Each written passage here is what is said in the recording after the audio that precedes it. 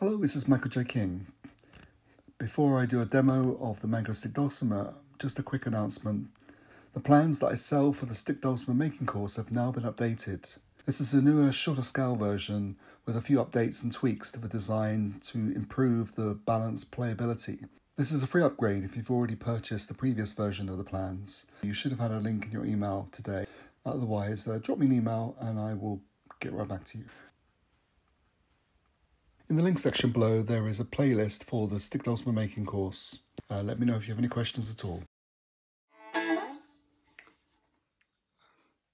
just going to do a little play and sample on one of my, this is a mango wood stick dulcimer. It has a very pretty two-piece back, flamed mango wood, and it has a yellow cedar top, a cherry wood neck, and a Ceccato Pretto fingerboard. This one is 22 inches scale. Uh, it's my current standard model. Um,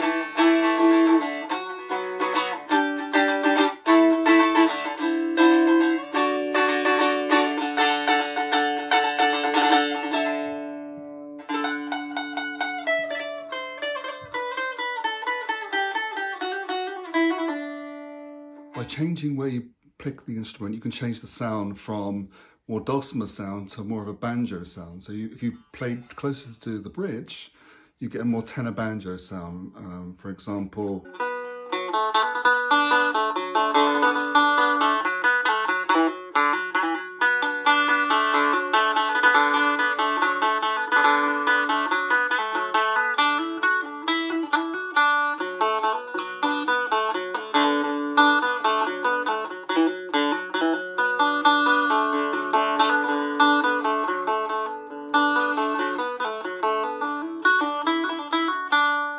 When between the sound hole and the fingerboard, this is where we get a more dulcimer-like sound.